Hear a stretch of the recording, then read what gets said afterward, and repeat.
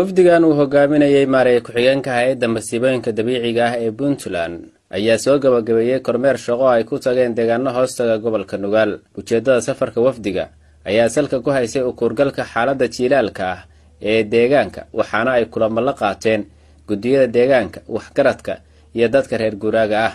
Qaar ka mid a dadka ayaa ka warbixiyey xaaladda jiilaal ee ay ku sugan yihiin.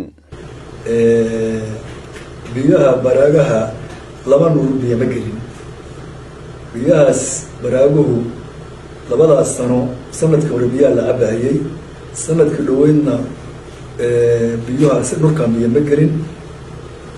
Waxaa biyaha loo doontaa ceel riiga baa loo raadsadaa.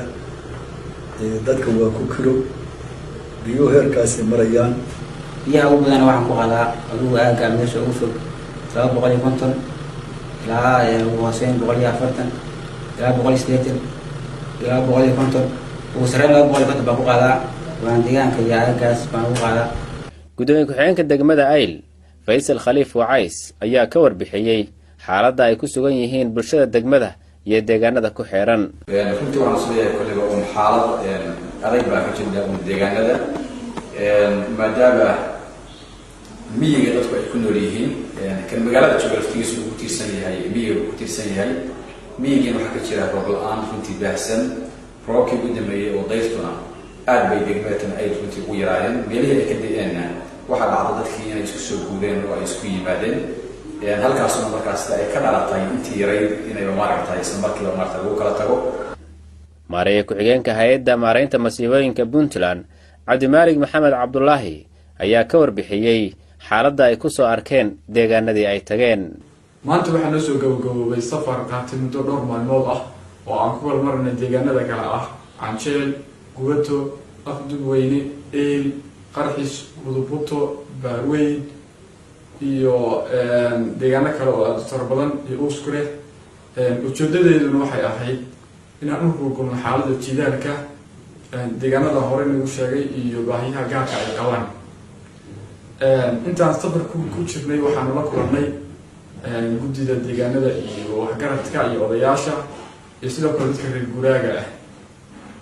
Waxay noo sheegeen inay muddo laba xilli ah ama laba nur ah oo sannadkii tegay labaatan labaatan inaysan wax roob aha helin inay ku sugan yihiin xaalad xaalad jidaal ah.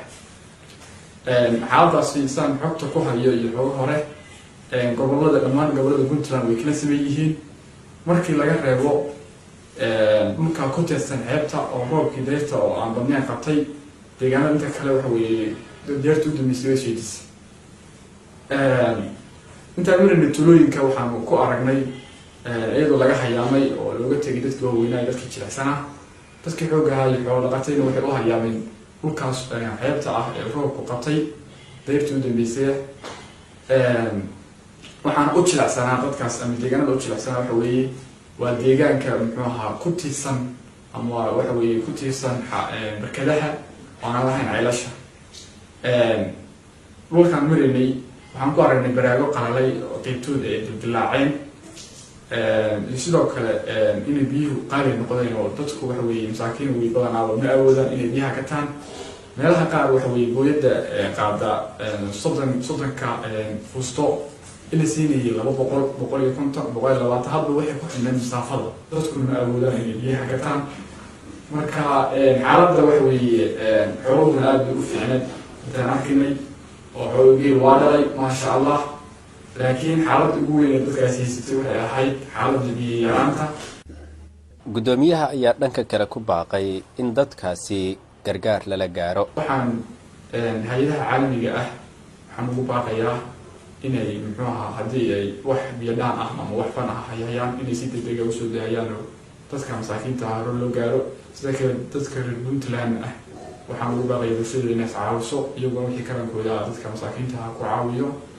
Iyo dowladda puntlandna waxay wadaa dadaalo fara badan oo hawshaas wax looga qabanayo oo loogu qareynayo kaadmahaana in badan baan anagu waxa weeye hay'adaha la wadaagnay xaaladaas jirto hawshiina way socotaa hadduu ilaahay roobkaas guga ah noo soo dadejin dalkan wuxuu gelayaa ama puntland guud ahaan wuxuu gelayaa xaalad crisa qaybkood waxay gelayaan xaalad emergency jaamac cabdiraxmaan axmed faandhe warbaahinta dowladda puntland garow